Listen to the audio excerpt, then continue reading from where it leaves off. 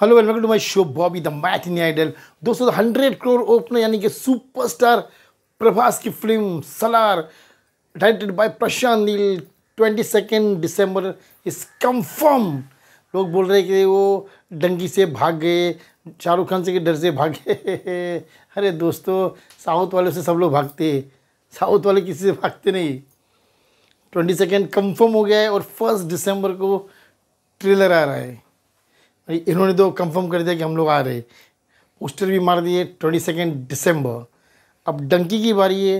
वो लोग बोल रहे हैं coming in Christmas are they coming on twenty second December और twenty first December are they coming no idea let's wait and watch क्या होता है। लेकिन कंफर्म तो हो गया कि हंड्रेड करोड़ अपने सुपर स्टार प्रभास की film Salaar twenty second December को आ रही है और फ़र्स्ट दिसंबर को ट्रेलर आ रहा है। आई होप एनिमल के साथ उसका ट्रेलर अटैच ना हो। संदीप रंग संदीप वांगे की पिक्चर है, वो भी साउथ वाली तो है उनके साथ अटैच करे, शायद, ना हो यूट्यूब पर तो आ ही जाएगा। वो देखते हैं इसका ट्रेलर कितना मज़ेदार है, और लोग कितना एक्साइट करता है, कितना थिएटर की तरफ़ खींचता है जब ये फ़िल्म रिलीज़ होगी।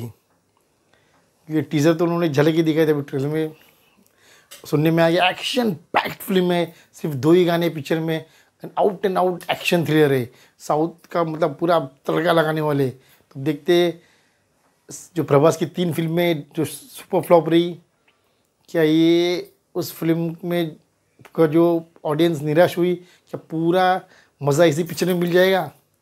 ये ट्वेंटी सेकेंड दिसंबर को पता चलेगा और क्या डंकी उस दिन रिलीज़ हो रही है या नहीं हो रही, वो भी आपको एक दो दिन में पता चल जाएगा। तो लेट्स वेट एंड वॉच क्या होता है। लेकिन as for now hundred crore opener superstar Prabhas की film Salaar is setting the screen on Christmas 22nd of December 2023 and trailer is going to be released on 1st of December, guys.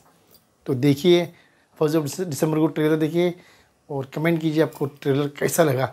Trailer की watching my channel Bobby the metals bye say good bye God bless you all